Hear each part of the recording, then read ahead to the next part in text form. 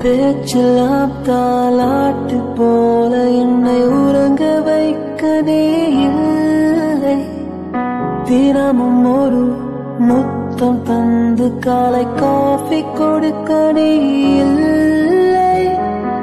விழியில் விழும் தூசி தன்னை நவள் எடுக்க நீ இங்கு இல்லை. மனதில் எழும் குழப்பம் தன்னை தீர்க்க நீ